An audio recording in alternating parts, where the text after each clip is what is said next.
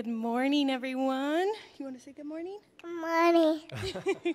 Welcome to worship. This Centennial uh, St. Anthony Park. We are so glad you're here. Please stand and sing with us.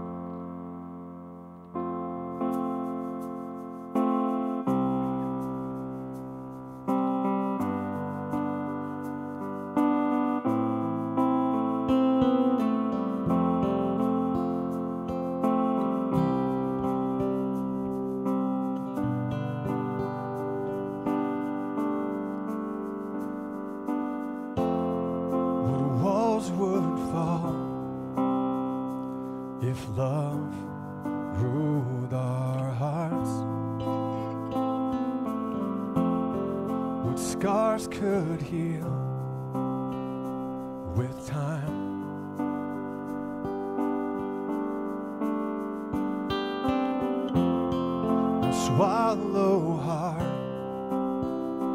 and think about this thought.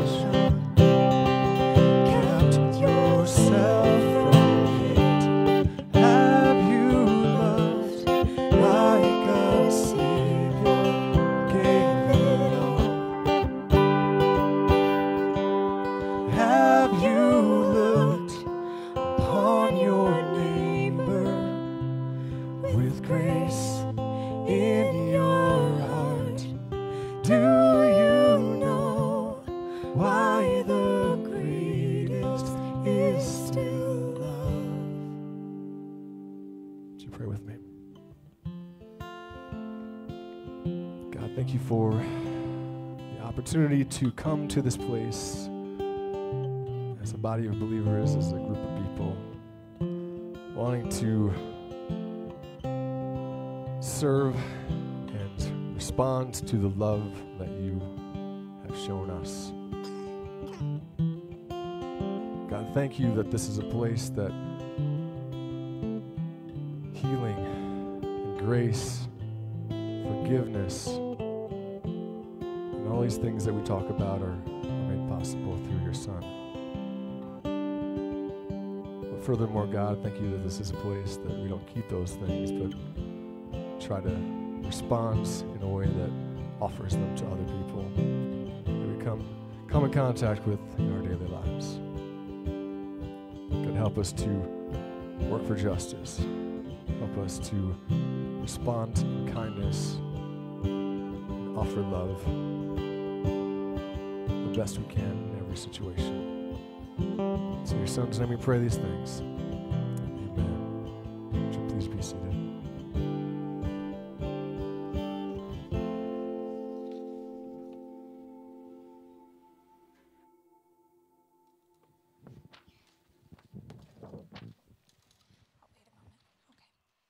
Cool. And I'm on? Awesome. All right. Good morning, church. That was all right. That was all right. Good morning, church. there we go. it is so great to see you all here today. Those who are worshiping with us in person and online, whether this is your first time or your 101st time, you are welcome here. And we are so grateful each and one of you here are gathered today, both in person and online. Welcome to Centennial, where our mission is to be authentic, thinking, active disciples of Christ who go out and build loving and just communities. Um, please fill out our Connect card. It's that QR code up there. It tells us who's here, what you need, and how we can be praying for you. I'm Amanda Schultz. I am the Director of Community Engagement and Youth Ministry. And we are so grateful for all those who supported our youth ministry at our breakfast cook off last week. Uh, we raised over $1,400 for youth missions. So, woohoo! That was between both campuses. Um, and Tessa Harvey is here today, and they were the first place winner of our with their brownie bites. So woohoo for Tessa! Yay! Awesome. Okay, so thank you again so much for supporting Youth Missions. You have one other opportunity this month to support our youth mission trip to Illinois and our Summer of Service projects. Um, you can sign up to get your own Super Bowl sub sandwich which the orders are due this Friday. Um, so there are orders back back in, in the way back, or they're also on social media. You can see find the link pretty close if you're watching with us online. So you can fill that out with what kind of sub you want. Bring your payment next Sunday, and you will have a delicious sub to eat before the before the Super Bowl. Um, and they're huge, just so you know. They're like really big. So please, um, please help us uh, with our youth missions, and thank you for supporting youth missions through these great opportunities. Um, we also have Lent kits for families with fifth graders or younger. Those will be available February 19th, so that's two Sundays from now. If you'd like a kit or extra kits for grandkids or neighbors or relatives, friends, somebody you met at Target that could use a Lent kit, uh, please sign up before next Sunday. Children welcome, are welcome now to head down for Faith Walk, which is our version of Sunday school. So there they go, stampeding that way. They are also welcome to join us and continue on in worship with us here. Um, everybody is welcome, no matter where you find yourself today. So thanks for being here.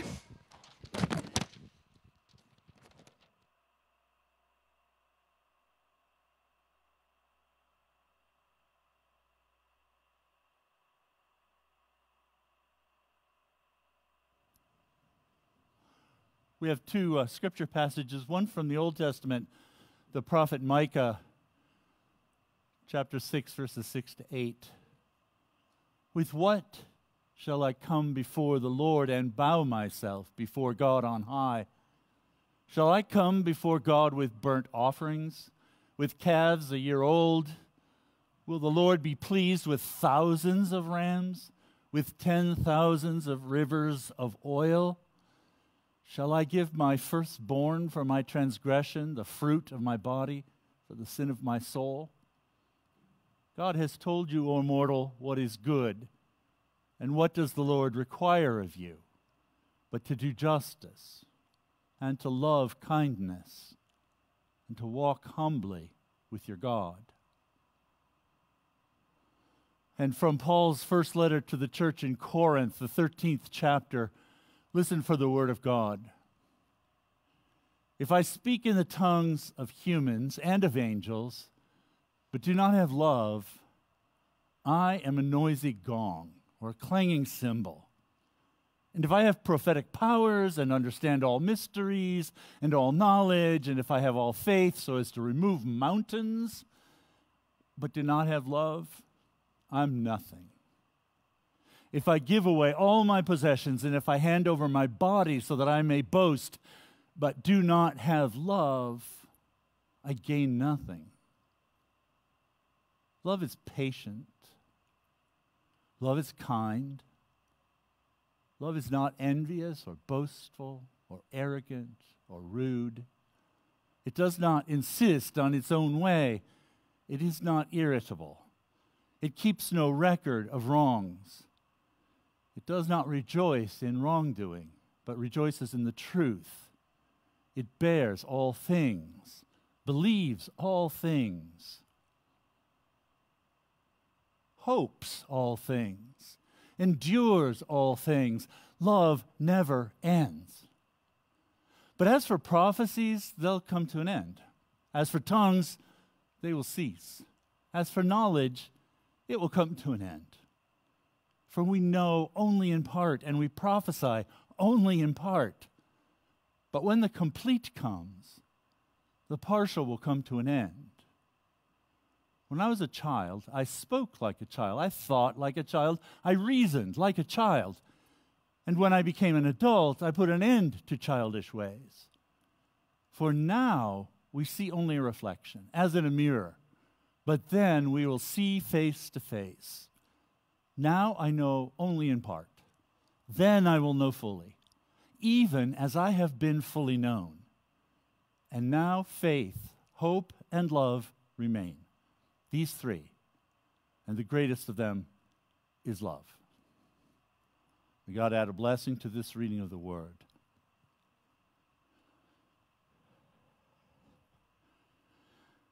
So early in our uh, marriage, Carol and I were living in Youngstown, Ohio, and we were expecting our first child, who turned out to be Levi, though we didn't know it at the time because in those days you didn't know stuff like that ahead of time.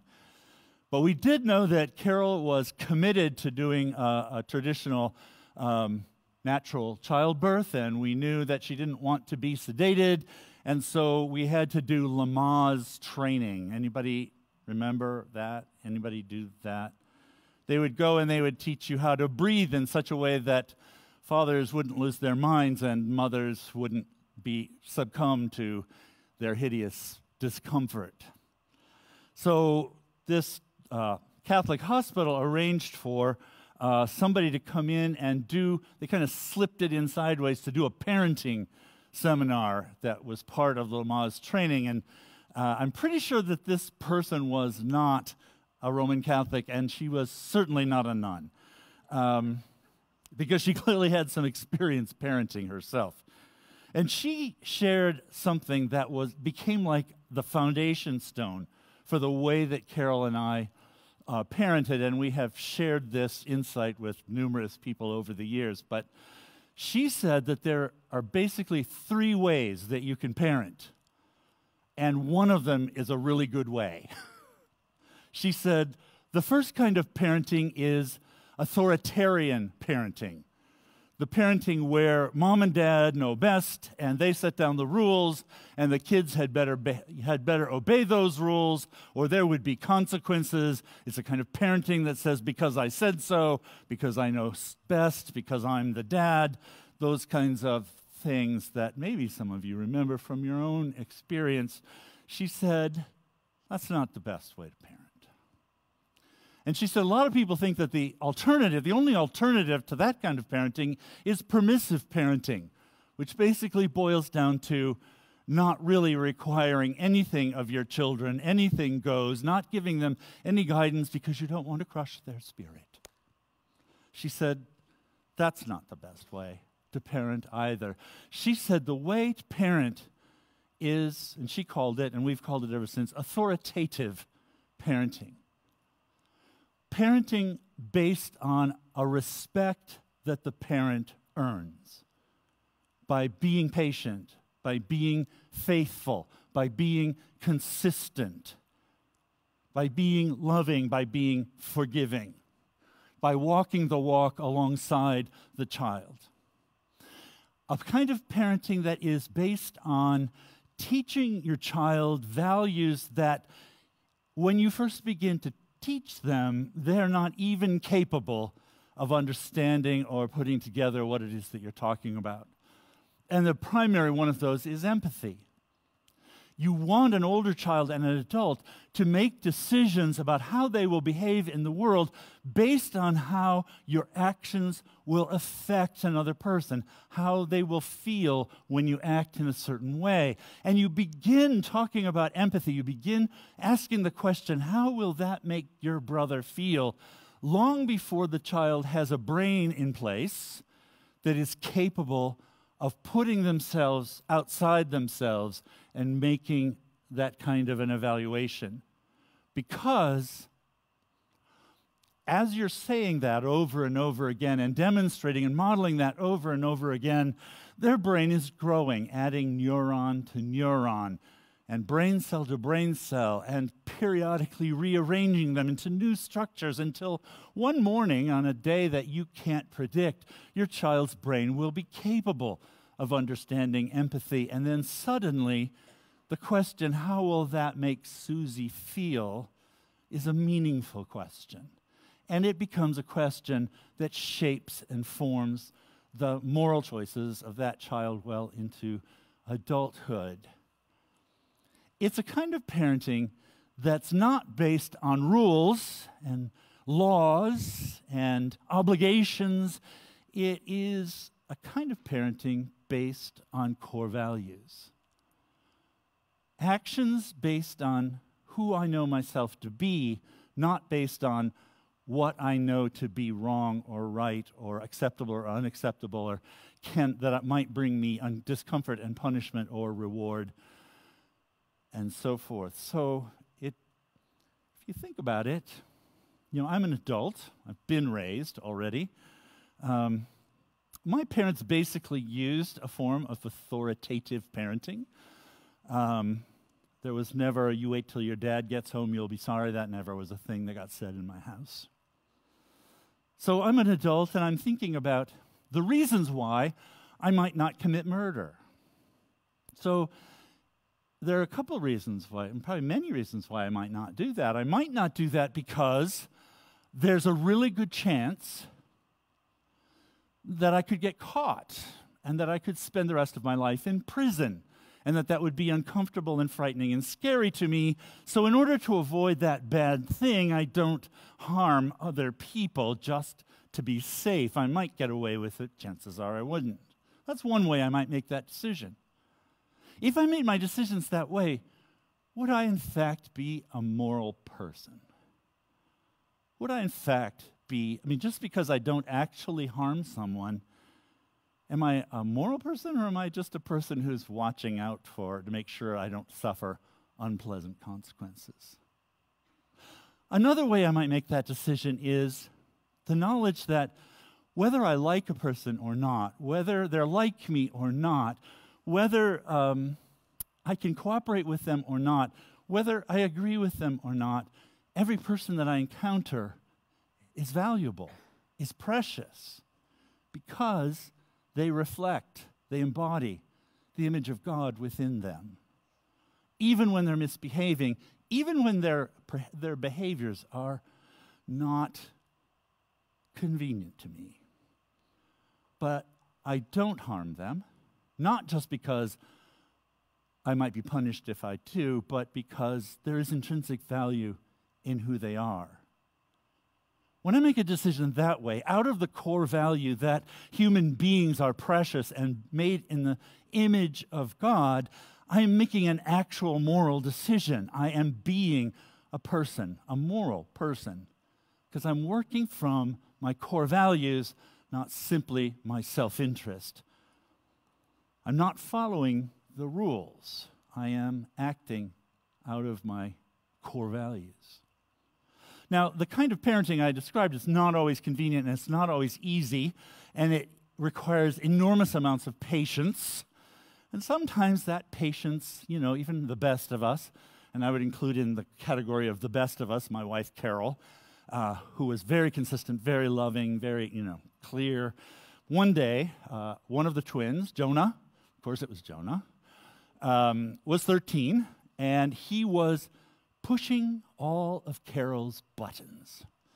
She wanted him to do something, and he was outlining one at a time all the reasons why it wasn't his job or that she didn't ask soon enough and he had made other plans. And, you know, all of these very logical reasons why he ought not to have to do this thing that Carol was asking her to do. And she'd had a very long day. And she was a little frustrated and a little short on resources. And finally, she just sort of snapped, and through gritted teeth, she says, Jonah, can't you ever do something just because I asked you to? And Jonah got this little smirk, this half smirk on his face that Jonah is sort of famous for. And he said, You're the one who taught me to question authority. And, you know, that was a clear one for Jonah. And even his mother laughed when he said that. Uh, and to Jonah's credit, and this is very Jonah also, having scored the point, having you know, won the argument, he went ahead and did the thing that his mom wanted him to do. because for Jonah, it was all about this. It still is a little bit all like this. He married somebody who would do this with him. So, and they're very happily married. So, you know, being Jonah's parent was never convenient. Um, it wasn't always easy. But when I look at all three of my sons, you know, they love justice and kindness, and they walk humbly with God. And they are full of patient love of the kind that Paul describes in his letter. So I tell these stories to kind of how do we make our decisions? How do we live a moral life?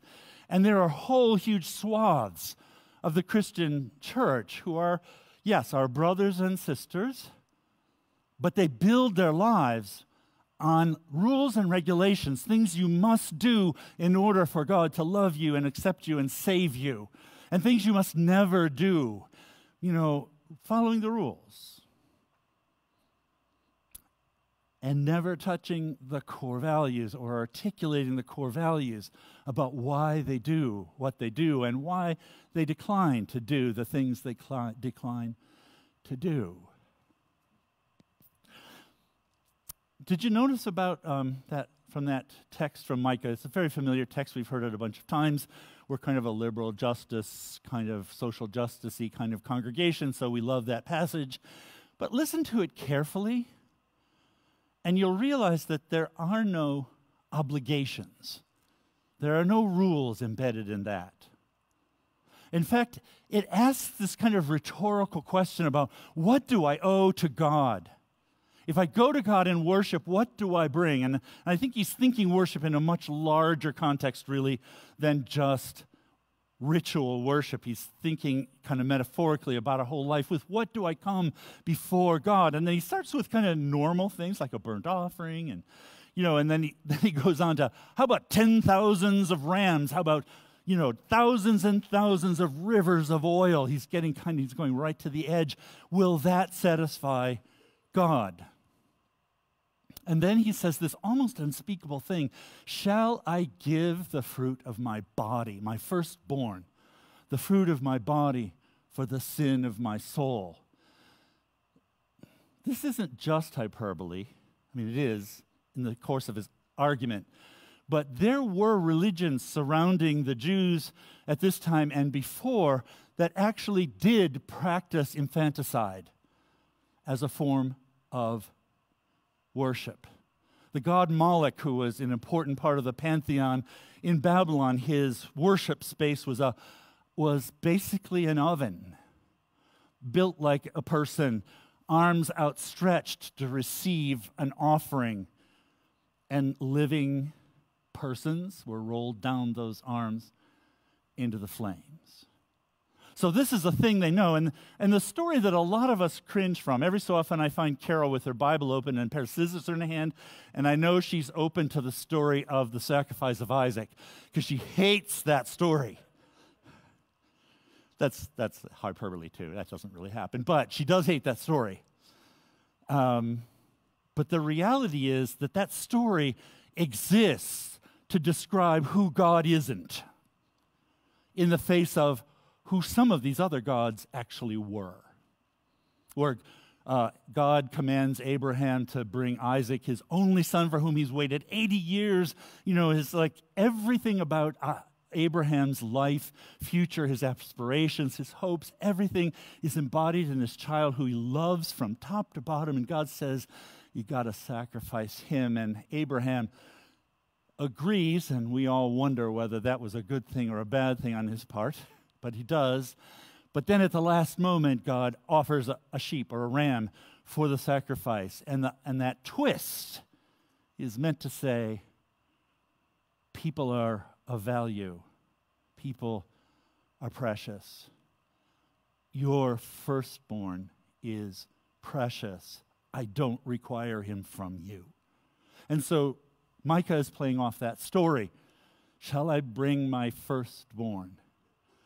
Offer the fruit of my body for the sin of my soul. So it brings her right to the edge, and the answer is a resounding no. You're only required to embody these three core values as a response to what God has done in your life. This is the form of your life, this is the form of your worship. Do justice.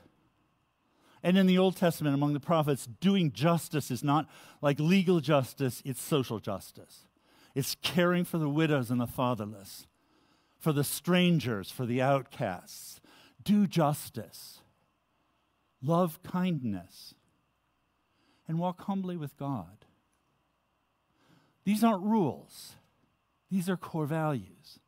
When you walk out into your life and have to make decisions in every in situations, you're not going to follow those three rules. You're going to explore those three core values and out of them make decisions about what does it mean to do justice?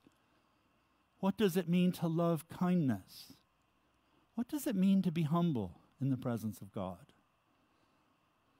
They're core values, and, and they are functional in every encounter that you have in your life. Rules are, unfortunately, are kind of specific.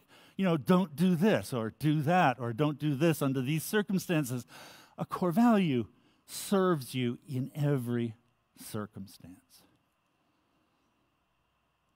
And Paul, in his letter to Corinth, makes it really clear like, what is the central core value?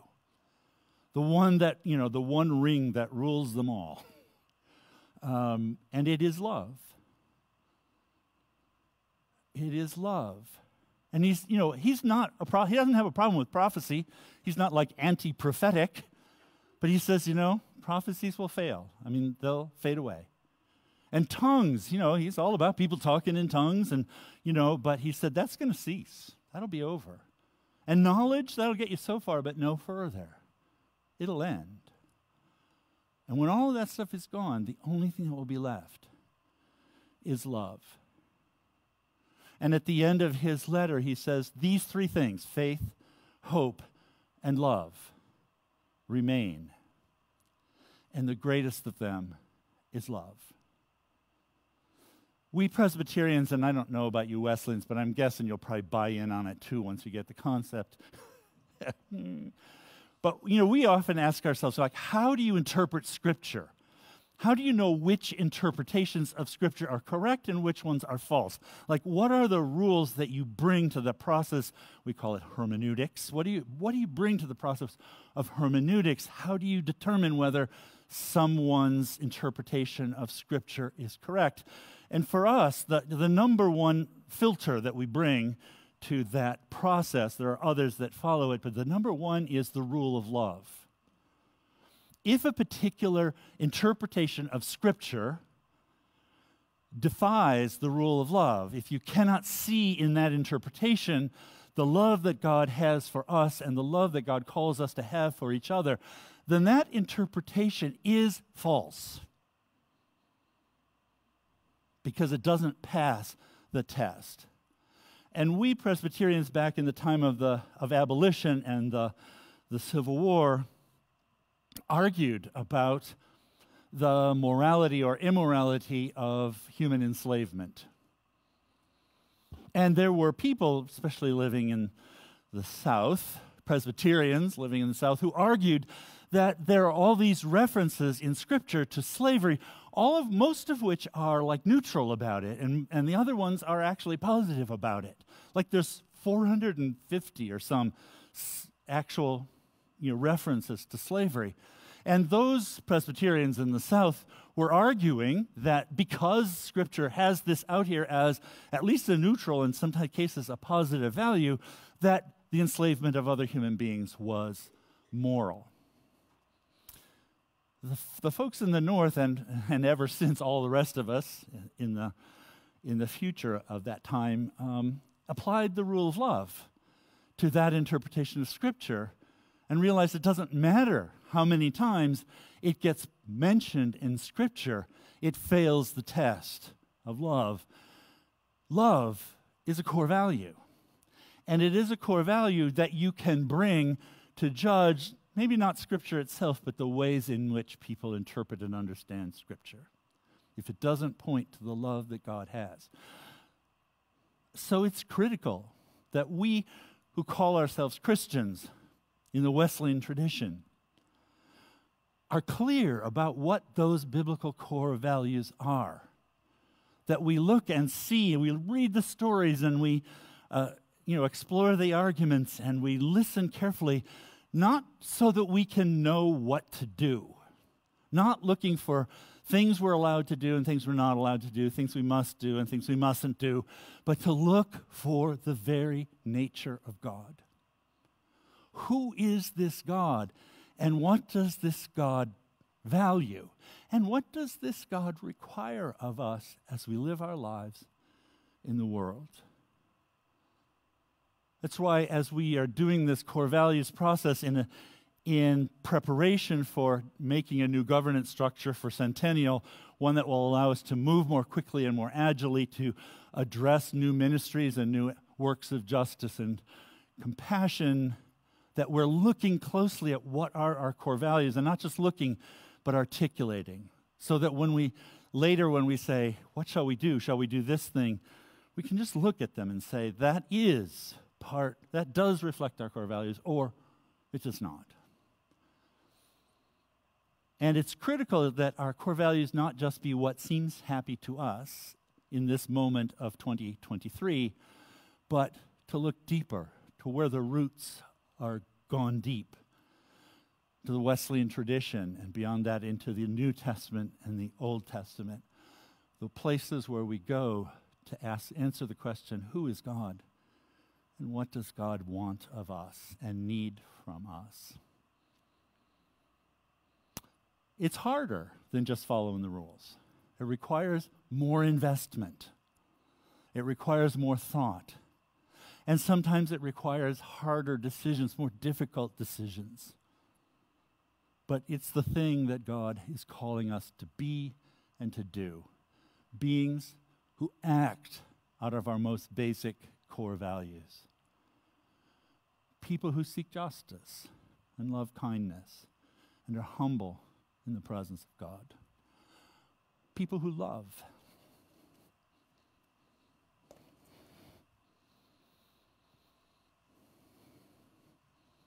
Amen.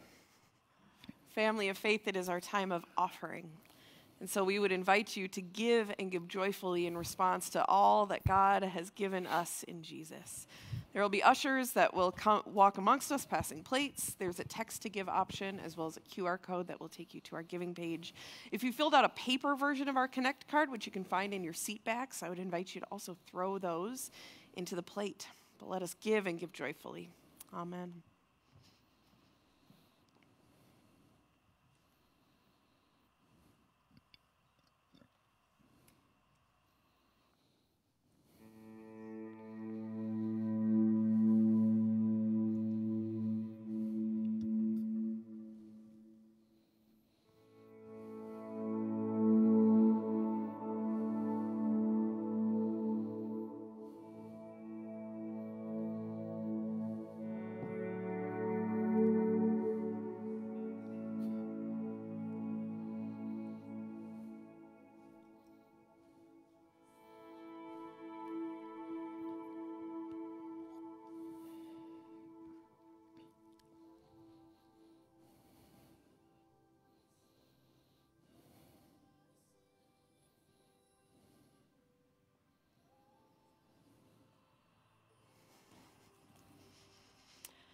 As the ushers continue to pass the plates, I would call your attention to this table.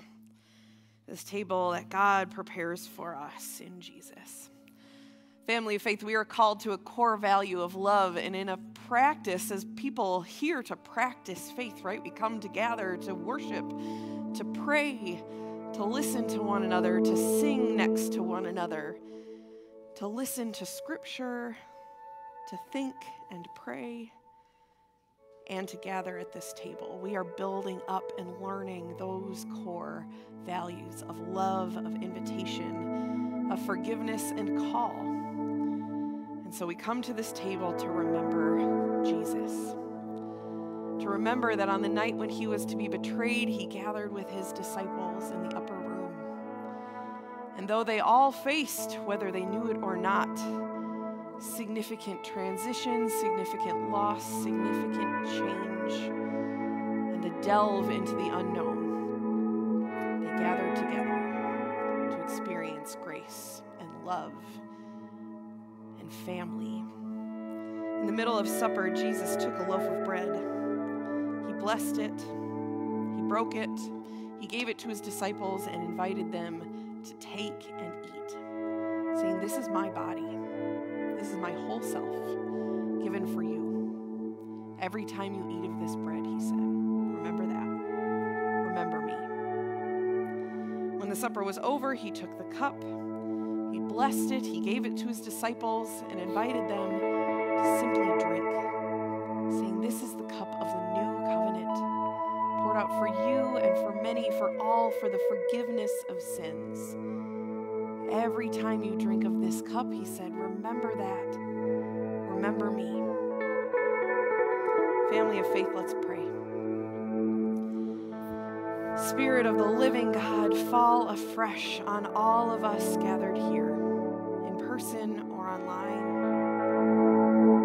Fall afresh on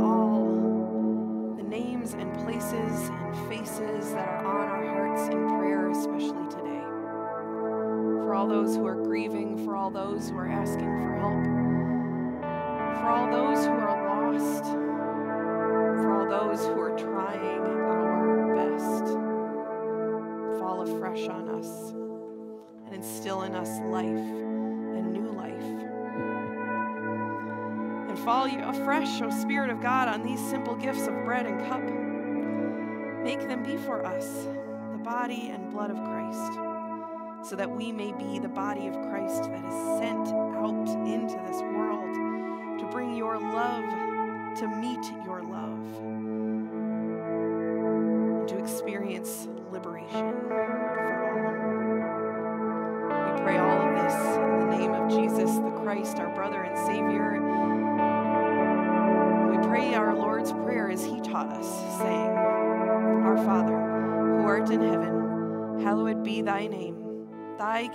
come, and thy will be done, on earth as it is in heaven. Give us this day our daily bread, and forgive us our trespasses, as we forgive those who trespass against us. And lead us not into temptation, but deliver us from evil. For thine is the kingdom, and the power, and the glory forever and ever. Amen. Family of faith, these are the gifts for you, for me, for us, for all, for the people of God. I would invite the communion service to come forward, and as they prepare to serve you, I would remind you that no matter who you are, what you've done, where you come from, or what has been done to you, you are welcome at this table. This table is for you from God with love and grace. Let us receive. Amen.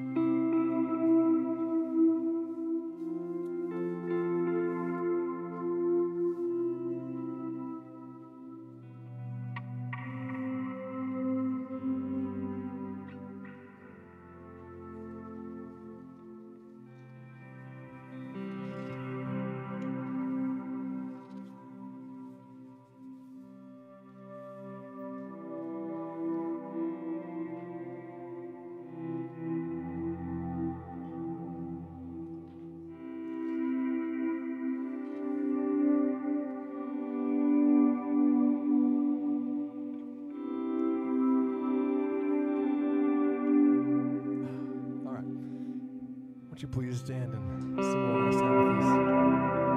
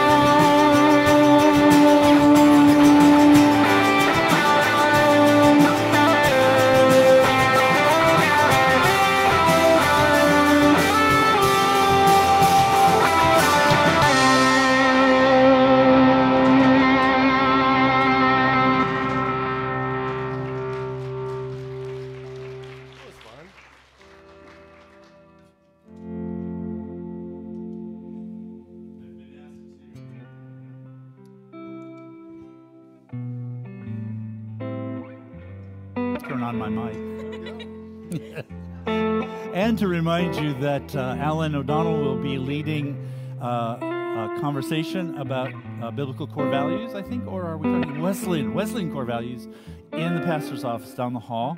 And Alan is an amazing uh, small group facilitator, so I think you'll enjoy it. Um, and now, may the grace of our Lord Jesus Christ and the love of God and the power and the companionship of the Holy Spirit be with each one of us both now and forever. And all God's people said,